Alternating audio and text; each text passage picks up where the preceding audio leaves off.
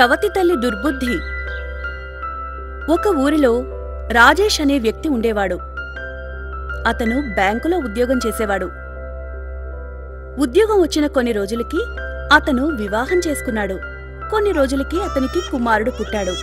బాబుకి సుమిత్ అని పేరు పెట్టారు. సుమిత్ సంవత్సరం వయసులో తన తల్లి అనారోగ్యంతో మరణిస్తుంది. సుమిత్ ఆలనా పాలనా చూడ్డానికి ఎవరూ ఉండరు. రాజేష్ తన మనసులో నేను ఉద్యోగానికి వెళ్ళడానికి బాబుని ఇంటిని జాగ్రత్తగా చూసుకోవడానికి మళ్ళీ వివాహం చేసుకోవాలి. అనుకుని సునీతను రెండో వివాహం చేసుకుంటాడు. సునీత కూడా సుమిత్ని ప్రేమగా చూసుకునేది. కొన్ని రోజులకి సునీతకి కూడా బాబు పుట్టాడు. అతనికి మోను అని పేరు పెట్టారు. మోను చాలా అల్లరిపిల్లాడు సుమిత్ చాలా శాంత స్వభావుడు. సునీత మోనుని గారాభం చేసేది. ఇతరులతో ఎప్పుడూ మోను గురించే మంచిగా మాట్లాడేది. కాని వాస్తవంగా మోను చాలా అల్లరిపిల్లాడు చదువు మీద శ్రద్ధ పెట్టేవాడు కాదు. ఎప్పుడూ ఆడుకుంటూ ఉండేవాడు. కాని సుమిత్ చదువు శ్రద్ధగా చదివేవాడు. చదివే కాదు. ఆటల్లో ఇంటి పనుల్లో ఇతరులకు సహాయపడ్డల్లో మోనో కన్నా ముందుండేవాడు. అందుకని అందరూ సుమిత్నే పొగిడేవారు. మోనోను మెచ్చుకునేవారు కాదు. అది సునీతకి అస్సలు నచ్చేది కాదు. కేవలం సుమిత్ని మాత్రమే అందరూ మెచ్చుకోవడం. ఒకరోజు రమ సునీతతో ఇలా అంటుంది. నువ్వెప్పుడూ మోను గురించి గొప్పగా చెప్తుంటావు. కాని అందరికీ తెలుసు మోను కన్నా సుమిత్ చాలా తెలివైనవాడని. నువ్వెప్పుడు మోను ఫస్ట్ వస్తాడు మోను ఫస్ట్ వస్తాడంటావు కదా. కానీ సుమిత్ కేవలం క్లాసులో మాత్రమే కాదు. స్కూల్ మొత్తానికి ఎప్పుడూ ఫస్ట్ వస్తాడు. నేను చెప్తున్నాను సుమిత్ పెద్దయ్యాక చాలా గొప్పవాడవుతాడు. కానీ మోనం చూస్తుంటేనే పెద్దగా ప్రయోజకుడవుతాడని అనిపించడం లేదు. దానికి సునీత అరే ఈసారి చూడు మోను ఫస్ట్ వస్తాడు. రమ అలా తనతో అనడంతో సునీతలో ఆలోచన మొదలైంది. రమతో మోను గురించి చెప్పాను. కాని సుమిత్ తెలివైనవాడు. తనని ఫస్ట్ రానివ్వను. అని సుమిత్కి ఇంటి పనులు వరసగా చెప్తూనే ఉంది. దానివల్ల సుమిత్కి చదువుకునే సమయం ఉండేది కాదు. మోను చదువులో ముందుండాలని అలా చేసినా రోజంతా పనిచేసి సుమిత్ రాత్రిపూట చదువుకునేవాడు. చూస్తూ ఉండగానే పరీక్షలు దగ్గరకొచ్చాయి. సునీత సుమిత్తో ఇంకా ఎక్కువ పనులు చేయించేది. ఒకరోజు సునీత మోనును నువ్వు పరీక్షలకు ఎలా చదువుతున్నావని అడిగింది. దానికి మోను అమ్మా నేను సరిగా చదవలేదు. నాకేం గుర్తుండడం లేదు.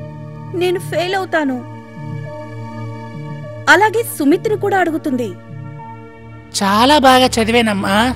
నేను ఈసారి కూడా ఫస్ట్ వచ్చి చూపిస్తాను. ఇది విని సునీత విచారంలో మునిగిపోయింది. లేదు లేదు. నేను సుమిత్ను ఫస్ట్ రానివ్వను. ఏదో ఒకటి చెయ్యాలి. పరీక్షకు ఒక రోజు ముందు సునీత మిఠాయి చేసి అందులో మందు కలిపి ఇందులో మందు కలిపాను. ఇది తిన్న సుమిత్ అనారోగ్యంతో పరీక్ష రాయలేడు. అసలు పరీక్ష రాయకపోతే ఫస్ట్ ఎలా వస్తాడు? అని అనుకుని సుమిత్ దగ్గరికి వెళ్ళి ఇదిగో ఈ మిఠాయి నువ్వు తిను. ఇంటి పనుల్లో చాలా సాయం చేశావు. అందుకే ఇది అని మిఠాయి సుమిత్కిచ్చి వెళ్ళిపోతుంది. సుమిత్ మిఠాయి తినబోతుంటే మోను వచ్చి మిఠాయి బాక్స్ సుమిత్ నుంచి లాక్కున్నాడు.